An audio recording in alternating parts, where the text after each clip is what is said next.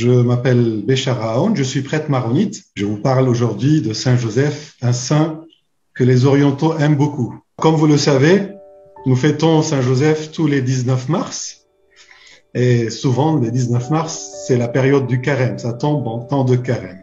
Pour les orientaux, je parle pour les maronites par exemple, nous commençons le carême deux jours avant, le mercredi décembre. Donc pour nous, c'est le lundi décembre, pour pouvoir fêter Saint Joseph sans jeûner, sans faire le carême le jour de sa fête. Il y a la fête de Saint Joseph le 19 mars, où on ne jeûne pas. Il y a aussi la fête de l'Annonciation le 25 mars, où on ne jeûne pas non plus. Et c'est deux fêtes qui tombent tout le temps, souvent, dans la période du carême. Pour nous, donc, en Orient, le 19 mars, ça se fête.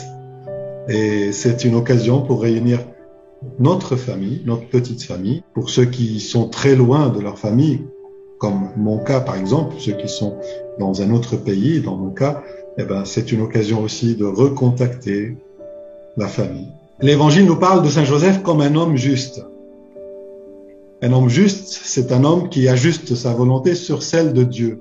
Il représente pour nous, bien sûr, euh, la figure paternelle, la figure du papa.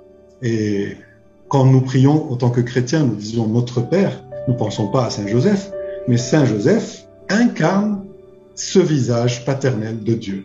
Il est vrai qu'aujourd'hui, fonder une famille, ça fait peur à beaucoup. Et des fois, c'est vraiment très difficile. Nous voyons les difficultés, les, les, les, couples qui se séparent aussi, ça nous rebute beaucoup. Vous savez, il y a dans la Bible un verset qui me touche beaucoup. Je vais vous le dire. Si le grain de blé tombé en terre ne meurt pas, il demeure seul. S'il meurt, il porte beaucoup de fruits. À premier abord, ça peut nous faire tous très très peur, hein, parce qu'on parle de la mort, euh, et comme un passage obligé pour donner des fruits, nous avons peur de cette dimension de souffrance, bien sûr, et ça nous empêche des fois de nous engager parce que on a peur des conséquences. Et Saint Joseph, qui a adopté, rien ne l'obligeait, hein, il a décidé, c'est une question de volonté, la volonté de Dieu le Père est devenue la sienne. Et ça lui a permis d'être le Père adoptif, d'être le membre de cette famille. Il nous appelle à notre tour d'adopter le Christ comme ce grain de blé. Et nous verrons, la vie nous réserve beaucoup de surprises. Et souvent, il peut y avoir de très bonnes surprises, surtout quand on adopte le Christ. Pour finir, on a parlé de la famille. Euh, je vais prier le Notre Père. Il est derrière moi en langue arabe. Je vais le prier en langue arabe. Et dans le Notre Père, il y a le nôtre. Donc, euh, il n'est pas juste mon papa, il est notre Père. donc, il fait de nous tous des frères et sœurs.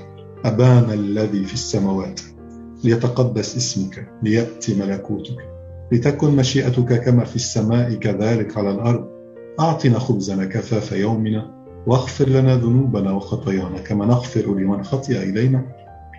ولا تدخلنا في التجارب لكن نجنا من الشرير لأن لك الملك والقوة والمجد إلى أبد الآبدين.